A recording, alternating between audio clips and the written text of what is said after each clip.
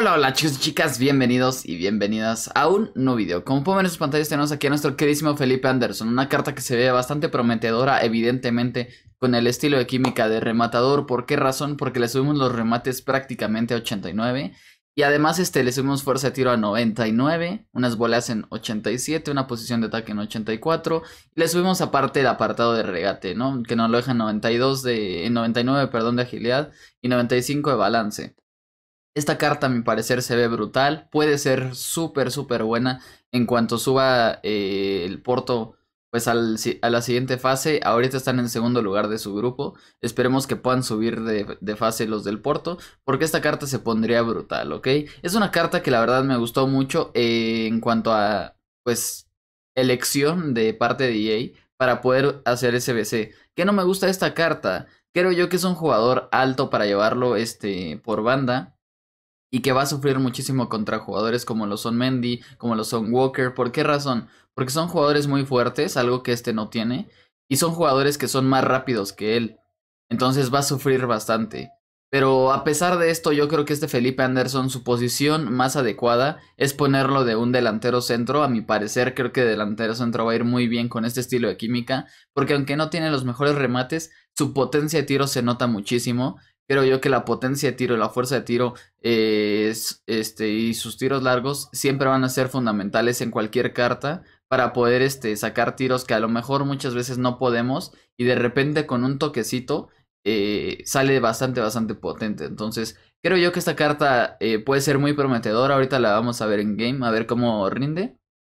Pero bueno, dejando de lado este, estos apartados, tenemos un apartado muy importante. Tiene regates en 90. Esto quiere decir que es muy bueno con el balón en los pies. No quiere decir que gire bien. No quiere decir que sea muy bueno, pues como quien dice, haciendo regates. Lo que tiene de bueno este Felipe Anderson cuando tiene la estadística de regate alta es que tiene muy buen control de balón. De hecho, si se dan cuenta, en la parte de arriba tiene control de balón eh, en 87, lo cual lo ayuda muchísimo. Y aparte tiene una estadística fundamental en todas las cartas. La compostura la tiene 87. ¿Qué quiere decir? Que prácticamente el 90% del partido está jugando al máximo nivel. O bueno, no el 90, el 87% del partido está jugando a su máximo nivel. Esto quiere decir que no, no tiene problemas. Aparte de todo, es un jugador que tiene el tiro colocado como rasgo. El rasgo es un...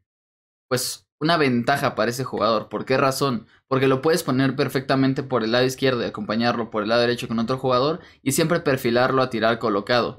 Es algo que yo hice, lo pongo del lado izquierdo y normalmente tiro o colocados o tiro cruzados, ¿ok? Que es lo importante. Pero con este jugador viene bastante, bastante bien el colocado, lo van a ver en algunos clips. Y me parece que es una cartaza, a mí me pareció muy, muy, muy bueno. Vamos a ver qué tal están los clips y finalizamos pues con el si vale la pena o no vale la pena. Vamos para allá.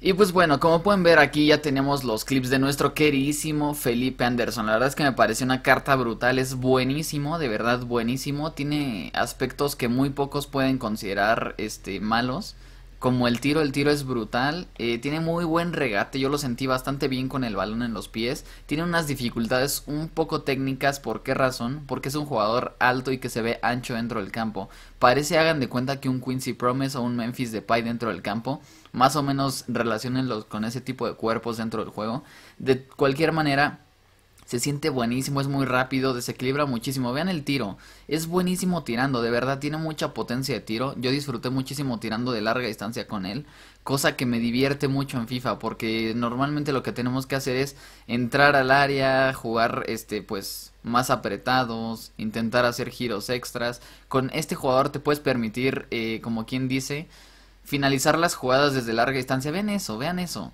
Es buenísimo, me pareció brutal. Qué golazo es ese. Por Dios, de espaldas, tira colocado y la mete casi casi al ángulo. El portero ni siquiera la alcanza. Es buenísimo. Yo disfruté muchísimo esta carta, de verdad. Que a mi parecer es una carta que yo les puedo decir sí o sí hágansela. Sí o sí cómprenla. Sí o sí de, todo. Porque aunque no lo hicieron de titular por sus dificultades en cuanto a química o sus dificultades en cuanto a jugabilidad cuando tienen centrales muy complicados de rivales este, van a disfrutarlo mucho. Si se dan cuenta, aquí acabo de destruir a Koscienly eh, con un este McGeddy Spin o, o Verba Spin, como lo quieran llamar. Eh, como pueden verlo, la verdad es buenísimo, a mi parecer. Creo que hay pocos jugadores así. Y tiene súper buen posicionamiento de delantero. ¿Vieron cómo se detuvo? Cualquier delantero hubiera corrido en esa. Entonces, creo que es una carta que vale totalmente la pena. Si se dan cuenta, yo jugué únicamente cuatro partidos. Yo con cuatro partidos nunca defino si un jugador es bueno o malo. Al menos que de verdad sea muy bueno o muy malo. Eso me pasó con Quincy Promise. Me pareció malísimo, malísimo el Road to the Final. En dos partidos lo vendí porque de verdad jugué Food Champions con él y dije, esta carta no merece una review, qué estrés es sacarle clips, qué estrés es disfrutarlo, pero véanlo, yo puedo disfrutar muchísimo el gameplay con Felipe Anderson, se siente muy rápido, es muy bueno y vean los partidos, o sea, vean los rivales que teníamos, les puse partes de los equipos de los rivales para que vean que no les miento, está muy muy muy muy cerrado esto. Este, en cuanto a valoración, pero es que véanlo. ¿Cómo tira así? Esto es irreal, ni Cristiano Ronaldo tira así, es buenísimo.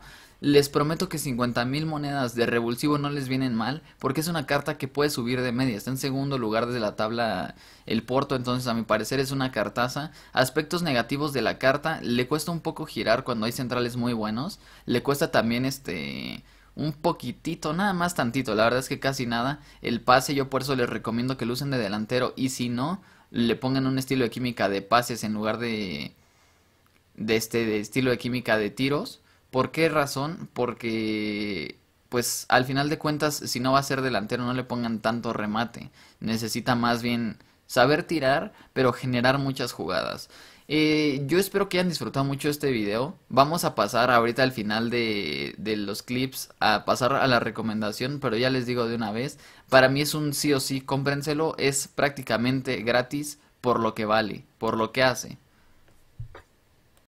Y bueno, ¿qué les puedo decir de esta carta? Ya vieron los clips, ya vieron cómo funciona, ya vieron cómo rinde. A mi parecer es una carta que vale la pena, sí y solo sí, eh, tú vas más o menos bien con conexión. Es decir, si tú sufres mucho de conexión o si juegas por Wi-Fi, no te lo hagas, vas a sufrir mucho con él porque como es alto, le cuesta mucho girar a veces. Entonces es un jugador que le complica eh, pues como quien dice, la jugabilidad a sus rivales. Aquí está como hemos jugado. Es un jugador que mide unos 75. Se nota más alto. ¿Por qué razón? Porque es un jugador que tiene compostura o cuerpo ancho dentro del juego. O sea, es un, un jugador que se ve ancho dentro del juego. Ya lo vieron en los clips. Es un jugador que el cabello lo hace ver más alto todavía. Parece de un 80 o algo por el estilo. Y el juego sí repercute en esto.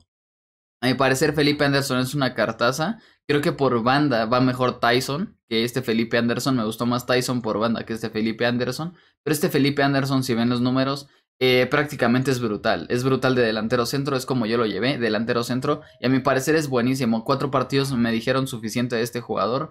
No ocupé jugar seis, no ocupé jugar diez. Todos están jugados en Food Champions. Si se dieron cuenta, este Felipe Anderson prácticamente llevándose en el hombro al equipo cuatro partidos, nueve goles, tres asistencias.